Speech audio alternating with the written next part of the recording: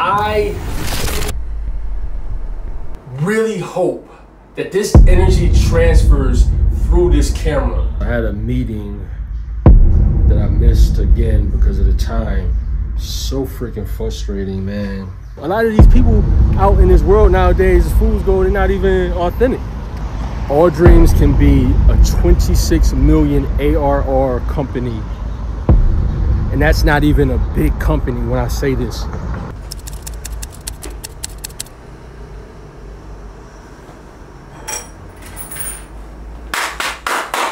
What up, what up, what up, what up? Monday, baby.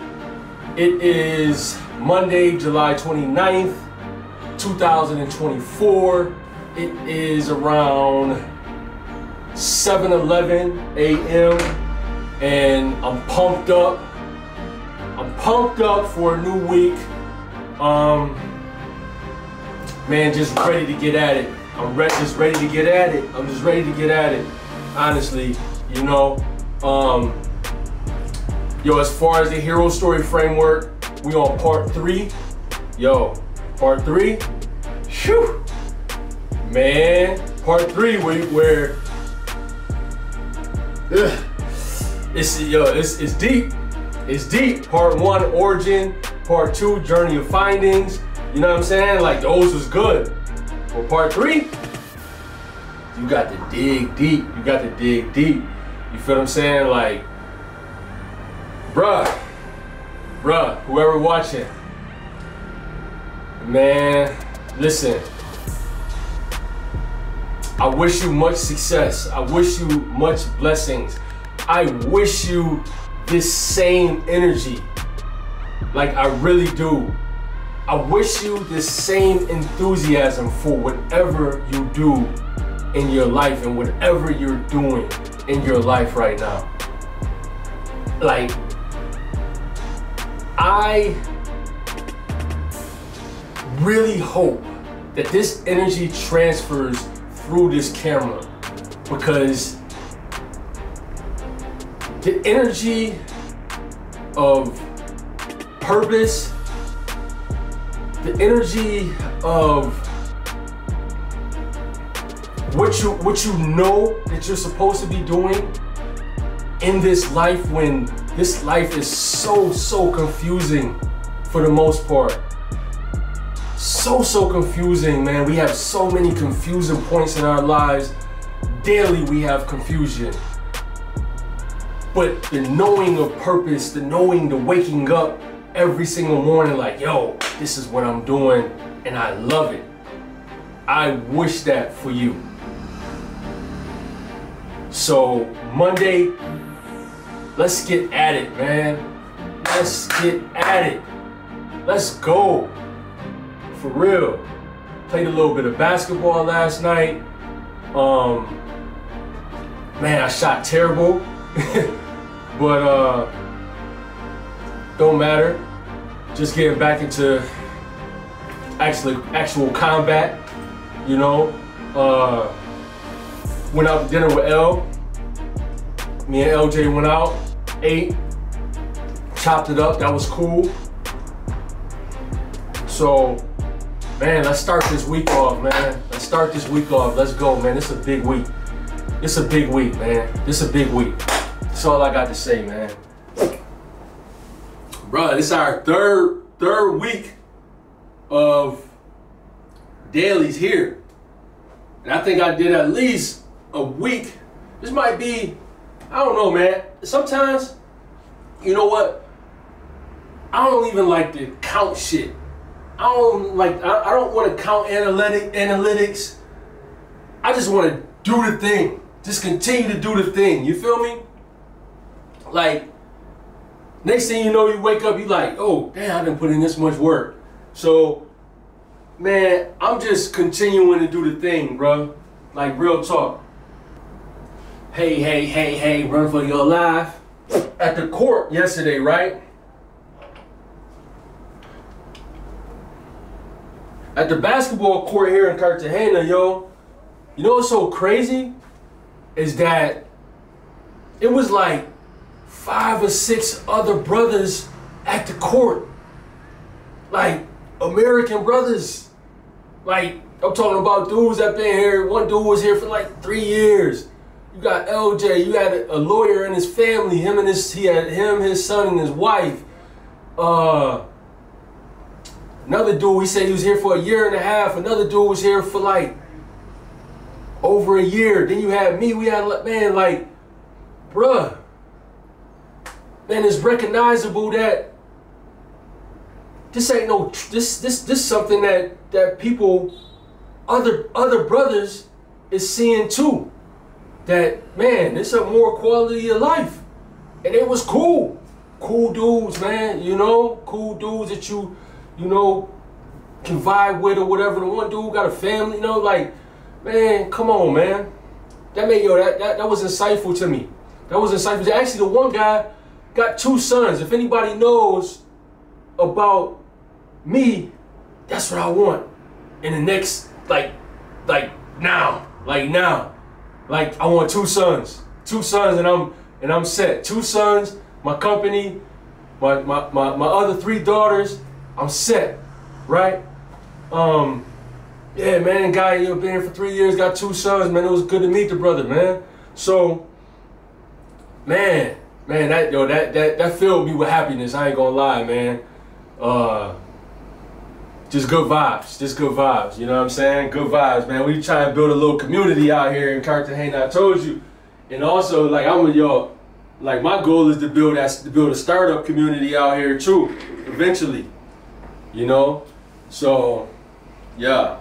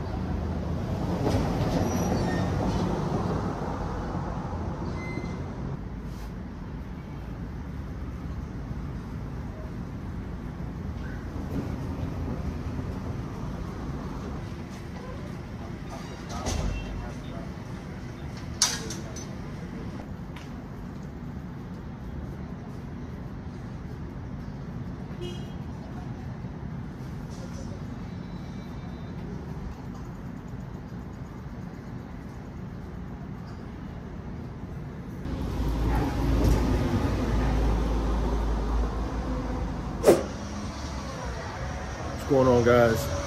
So i'm just getting back to the office. Just went and grabbed um, my, my fruit drink. It is uh 11:42. uh i'm going to film this. I had a meeting that i missed again because of the time. So freaking frustrating man. Um so yeah, I had to have my my meeting today and freaking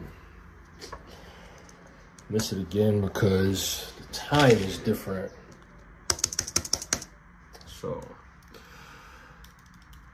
I'm a little bit annoyed about that.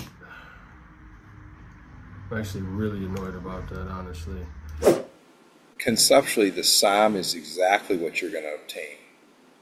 Right. I'd argue if there's 35 million in the United States, I'd argue you're only going to get a small fraction of those. And so let's make it up 1%, 350,000 350,000 times 75 bucks. That's 26 million dollars. That's an annual reoccurring revenue of 26 million two hundred fifty thousand dollars. So my point is, all, all many startups think, oh my gosh, everybody's going to love my thing. Well, they may, they may not. So we always say, give me a fraction of this. Okay. Ten percent of that is two point six million dollar business, right? So as you know, or may have been told, launch is looking ideally to invest in companies that are going to be seven to 10 million in the next three to five years. So Right. here you, you're, actually, you did times. Yeah, so I would suggest that you, you, based on your research, who you talk to, and like, let's say you talk to hundred people, there's a couple, there's a whole bunch of ways to get after this, right? Let's say you spoke to hundred people, and when you spoke to hundred people, um, five percent of them said I'd buy it. Oh, okay, so five percent. So now you're like, I'm gonna say five percent of thirty-five million. That's one way to do it. You could say, well, five percent sounds really aggressive, so I'm just gonna say I'm gonna do a subset of that subset and make it one or two percent, which is not uncommon. We, we see like a half a percent to two percent of the, of the SAM, the thirty-five million. That's pretty common, right? And it's also a sanity check for investors. Uh, you're like, you know, maybe people will like this, maybe they won't. I think of um, how many people really care enough to need that community. And I'm, I'm thinking it's a very small subset of the, of the big picture of so many athletes, right? Right. And, um, mind you, you're using the word amateur now. Before you were using the word, um, That's some young. young. Okay, yeah. So let's do Big difference, difference, which is it? Gotta make that consistent. So if you're doing amateur athletes, now if amateur implies somebody that has a propensity or has the desire to um, uh, to go pro, then now you got something. My, now you may have a community like, no, that's my pe- that's my people that I'm looking for. Is that what you mean? Yeah, I mean, yeah, I mean, yeah, that's that's that's what I mean. The amateur athlete, so that even the young athlete is not what I was like really talking about. I'm really talking about anyone that's not professional, amateur athletes. Okay, but I I was a high-end amateur athlete, not trying to get paid, although there was no money in it. I played ultimate frisbee for 25 years. I had my own team. We were asked to go to World Cup in Japan and Australia. Serious stuff. If you ever watch it, it's pretty. I think it's pretty entertaining. But it's a non-paying sport. There actually we do we had a professional team in Rochester uh, for a while, but I played because I like to play. So am I an amateur athlete in your category? Yeah, absolutely. Re reason being is you said you went to Japan and man, what a, what about building a community around what you were, you know, what you were doing? Hey, Yeah, that's true. That's a good point. That's a really good point, actually, because there's so many people that be like, "Wow, it'd be nice to connect," and it's a it's an it's an international sport. yeah, you said you, you said it was pretty cool. So yeah, that's something that could be introduced to a, a larger audience and build a community. Okay, so now you have the amateur athlete market, and some of those then in the amateur athlete market are interested in incre- improving, increasing their community, and some of them need money, funding. So it's a percentage of that. So if you, um, I'm just trying to model this for you, but if you said, oh, that's not right. I'm just doing the math.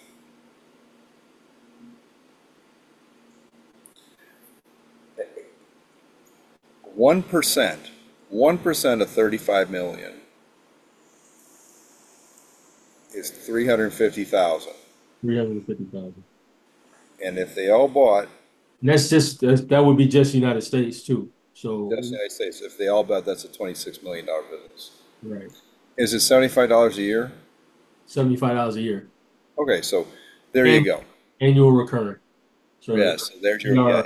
ARR, right, great. So that's awesome. So what I would say is I would rethink, you know, what is the right number? And again, you have to convince investors. You don't have to convince me. I'm just, I'm a, I'm a sanity check. I'm a, there's a sense of reasonableness. I'm an investor. Even one percent sounds aggressive. And by the way, if that's a twenty-six million dollar business, I'm like, I don't know about this. If you got ten percent of that, it's only a two point six million dollar business. Like, so somewhere it could be a half a percent. A half a percent is a thirteen million dollar business a year. So that's pretty, that's pretty amazing, right? Yo, so actually, I did have that meeting. so, um, and it went well. Man, I'm learning so so much. I'm learning so much. Like I just I feel like I feel like um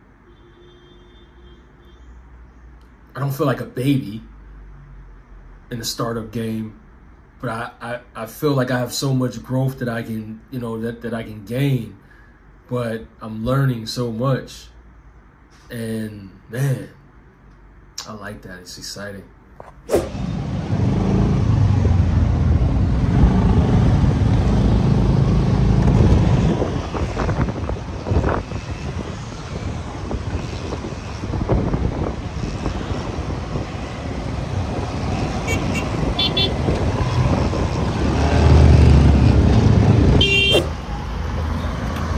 Day out here, man. Look at the blue skies. Look at the water.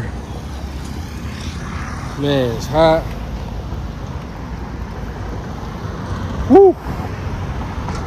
Man, if you're first time on this channel, man, give me a like and subscribe, comment, something.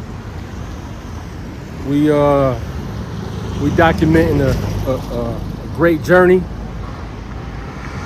and um, man, I would love for you to be a part of this journey. Going along on this journey with me. If you don't know me, my name is Hassan. And uh, I'm an entrepreneur currently in Cartagena, Colombia, building my startup company, All Dreams. And um, man, so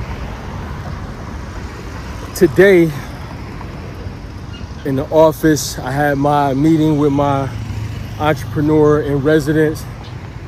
And if you watched the video before this, we was talking about TAM SAM SOM, which is something that businesses use in order to figure out um, what market they can basically dominate by the time you get to the end of it. It's three parts of it. So like the first part is your the, the, the biggest market size that you get, you know, that, that that's in your market, then the realistic market size, and then the market that you can realistically dominate. And um, man, when we broke it down, bro, even on a small scale, on a small scale, all dreams can be a $26 million ARR company. And that's on a small scale. That's only in America. That is not worldwide. All Dreams can be a 26 million ARR company. And that's not even a big company when I say this. Seriously. This company will change a lot of people. It's going to change a lot of people's lives. And um, so that's one of the things that me and my entrepreneur residence broke down today, as you've seen. But um, shit, if that ain't exciting, I don't know what is. Now, when I was playing basketball at Bethune-Cookman, I remember this distinct phrase that my, my head coach used to say.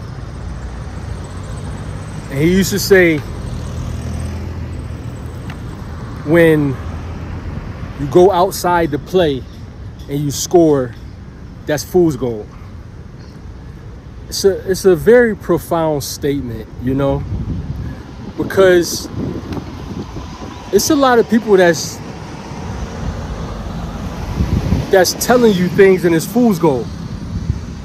You know, it's almost like a broken clock is right two times a day. Even a garbage can gets a steak. It's things like that because anybody can get lucky one time, you know? And you had to think about those things, right? When you're following somebody who has done it over and over again and I'm not saying, yo, you should follow me. I'm not saying none of that. I'm just saying, like, a lot of this shit out here is fool's gold. Like it's really fool's gold. you understand what I'm saying? Like a lot of it is just fool's gold. So you need to be careful. You feel what I'm saying? Um when you talk about fool's gold when you talk about fool's gold it's really real. I be looking at because say you play say say you playing basketball or whatever right? And somebody hits a lucky shot. I'm talking about a fadeaway shot. Dude hit a hit a fadeaway shot on me yesterday. And i'm looking i'm like yo that's fool's gold because man you ain't work on that shot. You feel me? And that's really what fool's gold basically breaks down to. It's like yo if you ain't do something consistently over and over and over and over again and then you just luck up you know what i'm saying? Like you get a cosign your youtube channel blow up you know what i'm saying? Or somebody like you get a viral video your channel blow up or your instagram blow up your tiktok blow up. That's it's fool's gold. You understand what i'm saying? Like the only way to really cement yourself is to do it over and over again. And that consistency, you know exactly where it comes from because you didn't did it over and over again. You didn't put the work in. It's just like a jump shot. You feel what I'm saying? Like you didn't shot the shot a thousand and thousands and thousands of times. It ain't fool's gold when it go in because you didn't did it over and over again. A lot of people they look up, they they want fool's gold. Like that shit like shiny covered up, but it's fool's gold. A lot of these people out in this world nowadays is fool's gold. They're not even authentic.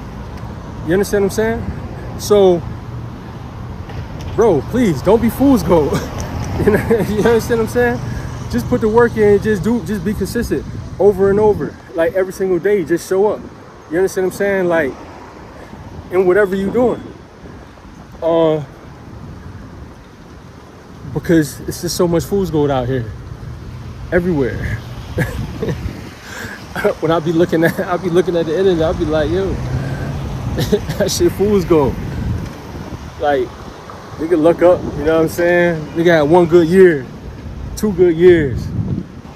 Life is a consistency game. I'm trying to tell you, because you ain't gonna be up 100,000 percent. You ain't gonna be down 1,000 percent. Like that's why you just gotta be consistent. You just gotta continue working, continue taking steps along. You know what I mean? Just, just working it, man. Just step by step. Just keep going. You know? Yeah. A lot of y'all do is fool's gold, man. Real talk. A lot of fool's gold out here, man. Don't get tricked by that fool's gold, man. Only buy the real thing.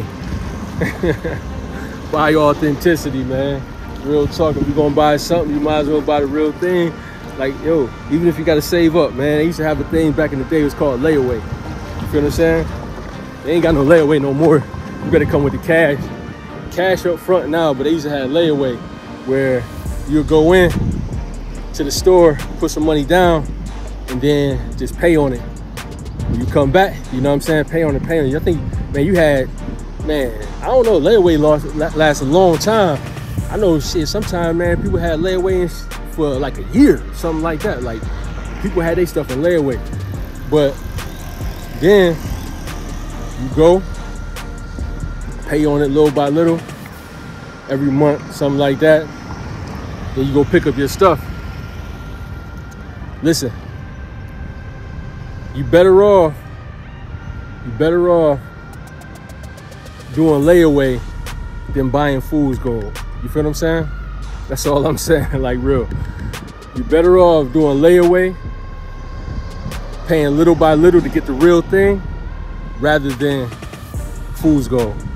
That's all I got to say for the day. I'll see you guys tomorrow. I'm out. Right now it's like 324 my day is over. And mañana